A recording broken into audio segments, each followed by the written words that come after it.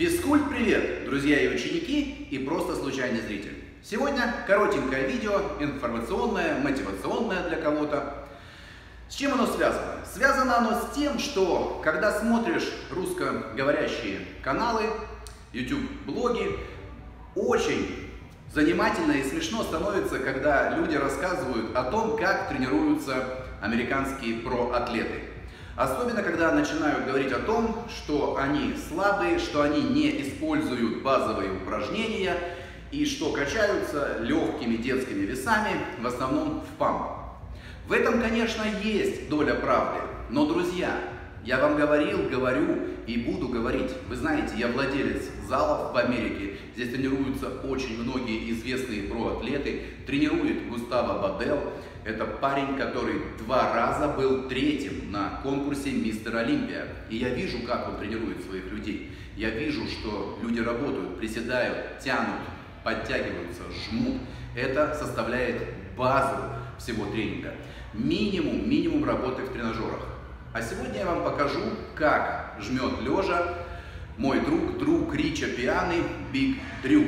Это представитель команды 5%, и я думаю, что если бы не медийность Мартина Форда, то именно Биг Дрю стал бы лицом 5%. Потому что он реально огромный, потому что он живет бодибилдингом, потому что его знают очень много людей, и он непосредственно был другом Рича Пианы, а не просто крутился вокруг него в этой сфере. Давайте посмотрим, как жмет Биг Дрю.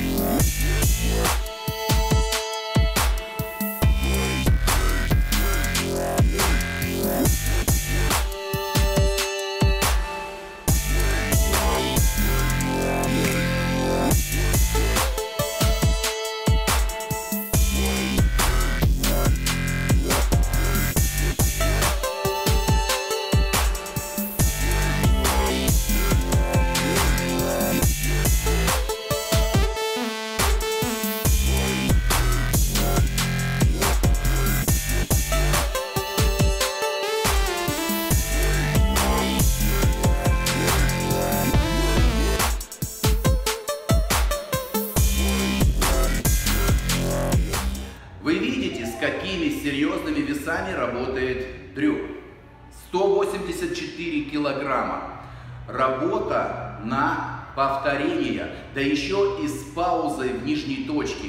Не на одну, две, три даже не на 4 секунды. Вы это видите сами. А попробуйте, работая даже со средними весами, остановиться на 2-3 секунды внизу и попробовать продолжить работу. Дрю делает это несколько раз. 184 килограмма, друзья.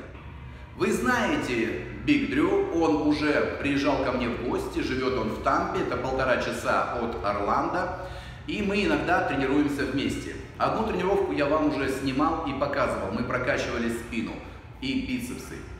Спину он качал в убийственном режиме вначале, делал сумасшедшие тяги вертикального блока, а потом в памповом режиме мы добивали широчайшие, заднюю дельту и прокачивали бит. Надеюсь, друзья, вам понравился ролик. Ставьте палец вверх, пишите, с какими весами работаете вы, делаете ли вы периодизацию, как это делают грамотные атлеты.